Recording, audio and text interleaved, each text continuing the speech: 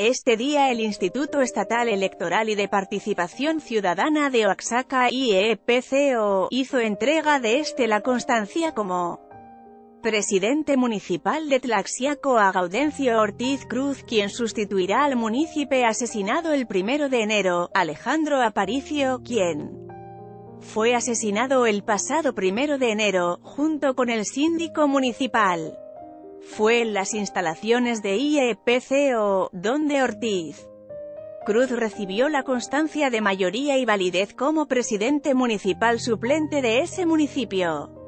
Justicia vinculan a proceso al asesino del edil de Tlaxiaco, Oaxaca en el ataque también resultó herido el síndico Perfecto Hernández, quien también murió por causa de sus heridas mientras era atendido en un hospital de la ciudad de Oaxaca.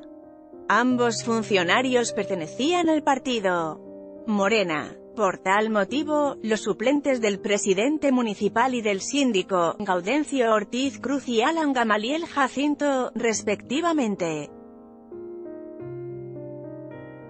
asumieron los cargos. Respecto al asesinato de las autoridades municipales, la Fiscalía de Oaxaca integró la carpeta de investigación 19, FMIXTLAX y ACO, 2019.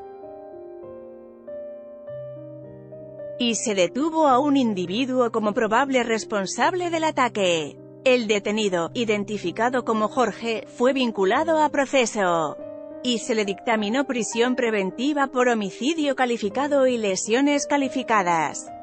De igual forma, el juez dio cuatro meses para el cierre de la investigación, que culminaría a principios de mayo.